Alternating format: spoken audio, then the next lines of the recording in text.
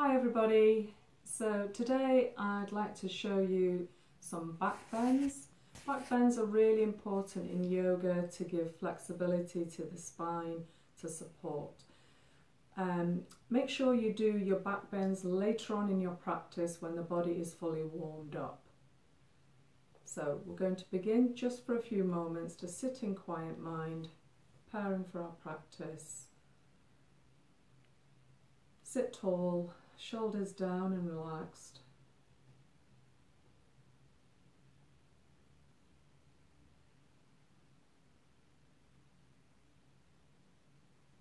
Focus purely on your breathing and nothing else.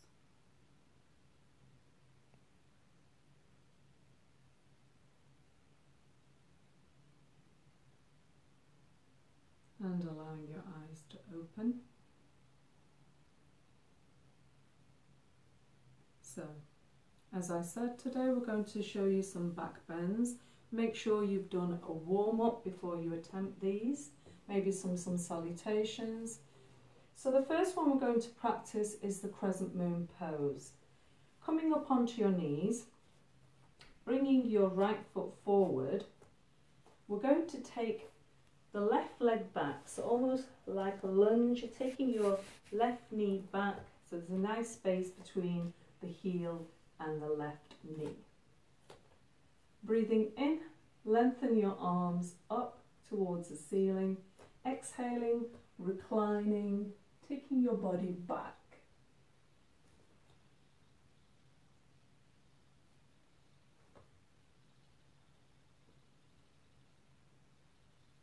Breathing in, coming forward, exhaling, releasing. So only hold the posture for as long as you feel comfortable. If you can bring your palms together when your arms are extended at the top, you can do. So breathing in, breathing out.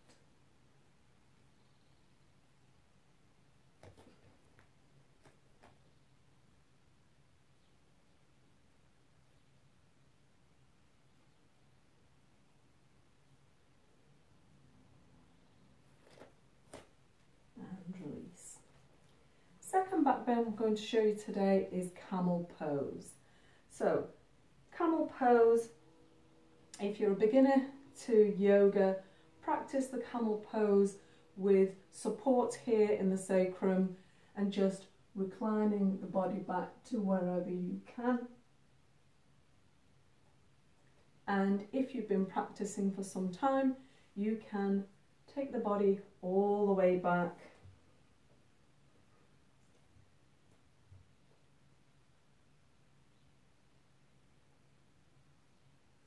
relaxing the face.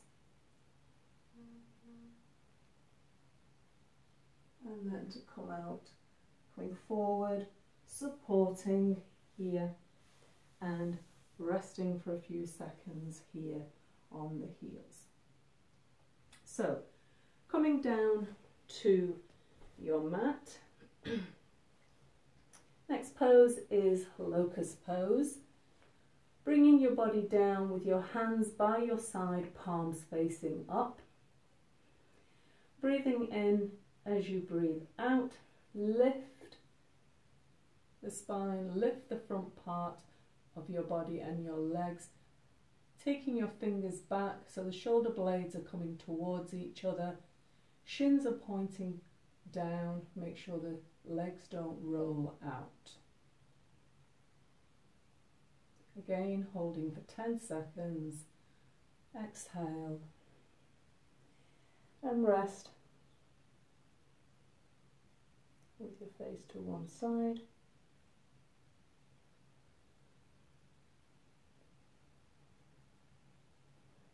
Bringing your chin back to your mat. Let's practice that one more time.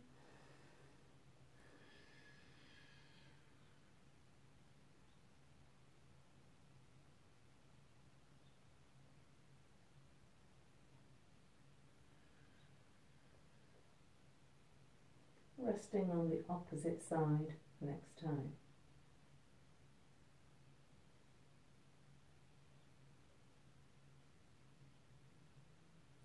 From here we're going to practice bow pose.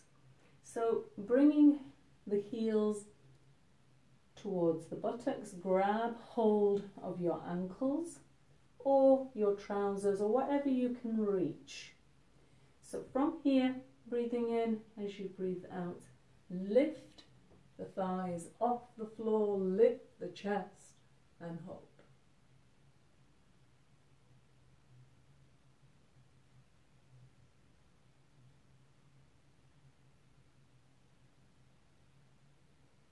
Releasing, coming down to the floor. can rest a few moments in crocodile pose here with your feet pointing out to the sides, forehead going to the forearms. Take a few breaths.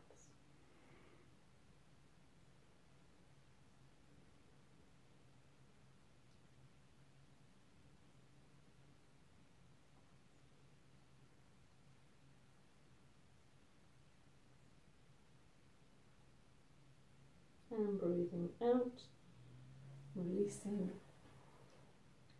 We're going to come up and onto your back for the final pose, which is bridge pose. So lie down.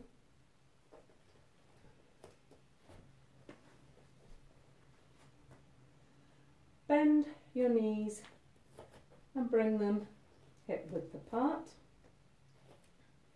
with your hands down by your side.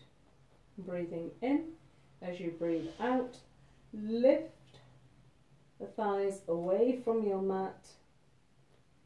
Chin is to the center. Try not to move the head.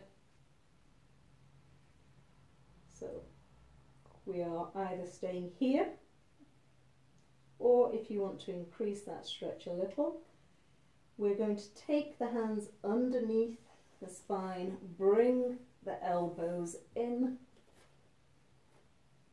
I'm going to hold here.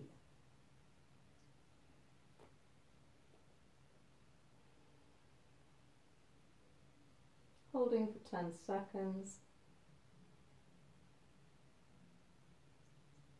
Make sure the knees are not rolling out to the sides. And slowly releasing the spine, bringing your body down. Bring the knees to the chest, hug them tightly, rock gently side to side.